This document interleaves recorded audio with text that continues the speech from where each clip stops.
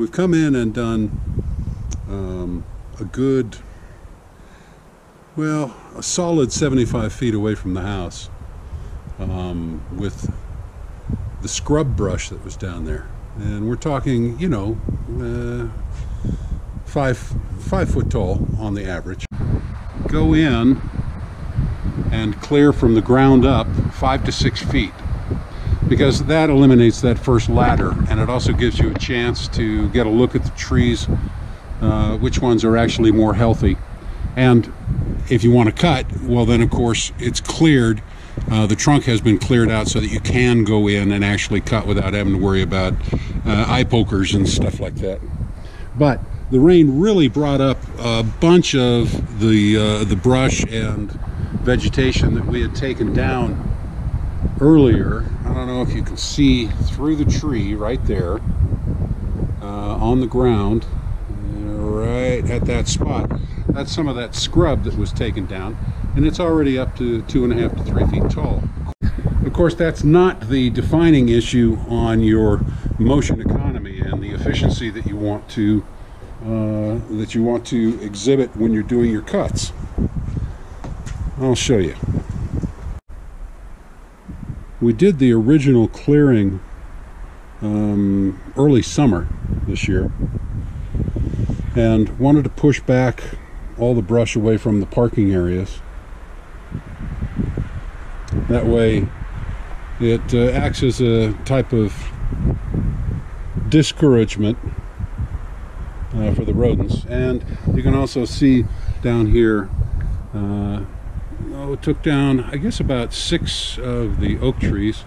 There's a there's a cut from this one here, and the two that were near the house, uh, and also that were near the pine trees, sucking sucking moisture away from the pine trees.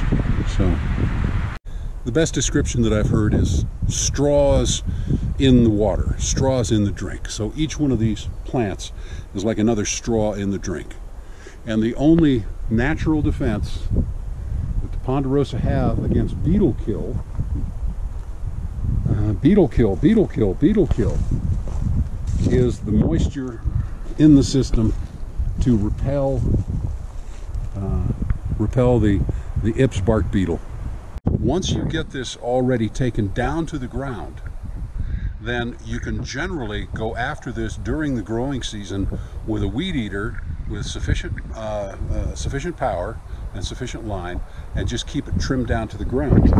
What's going to be coming out of the plant when it regenerates, if it does, um, is, uh, is going to be thinner, more manageable, uh, more manageable type brush. So we had that already over in some of these areas. I don't know if you can hear me because of the wind.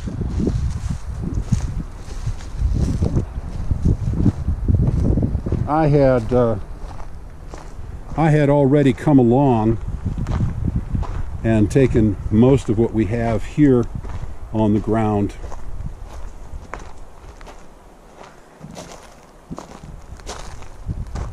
Down to a uh, down to a manageable thickness of brush.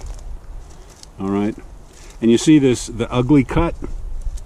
All right? Don't worry about making a good or decent cut on the scrub. This is going to discourage it from growing. So you want to do that. So weed eat down the thinner stuff and then coming back in with the uh, gas hedger, the power, uh, the power hedger to take it back down to the ground. And then I can proceed, move along and use the loppers to uh, take it down to actual ground level. The other advantage of that is this is your yard scrub is moving in as you can see right down here. That's just a scrub forest and that is what this used to look like. So that down there is going to start looking like this. You want to be able to cut as low as possible to the ground so that you don't have these left over when you come through and do the cleanup. This is not hedger size it's chainsaw or lopper size. And uh, uh, I don't know. I might come after this with my chainsaw, but uh, my chainsaw has a, uh, I guess you'd call it a gardener's shroud over the tip, and so when you're cutting in close, you don't end up, um, uh, you know, dulling the whole blade on the edge of a brick or a rock or something.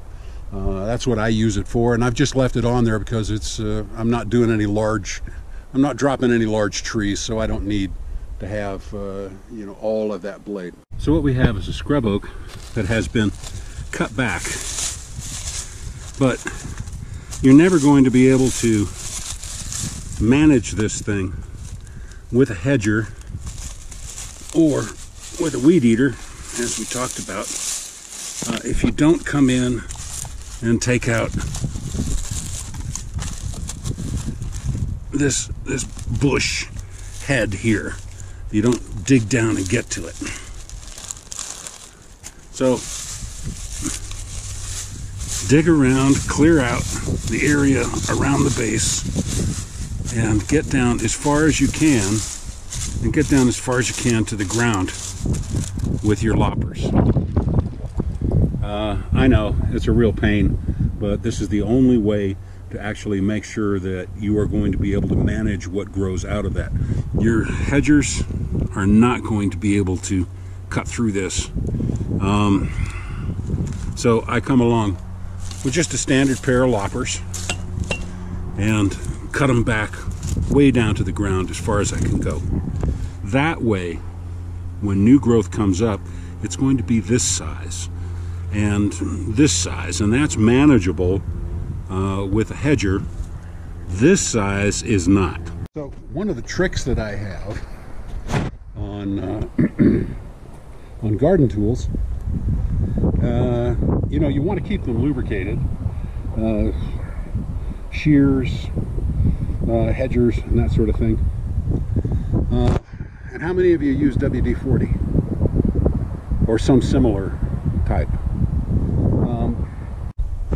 You might want to try something like an aerosol uh, olive oil cooking oil or any type of vegetable cooking oil that doesn't have harmful propellants in it.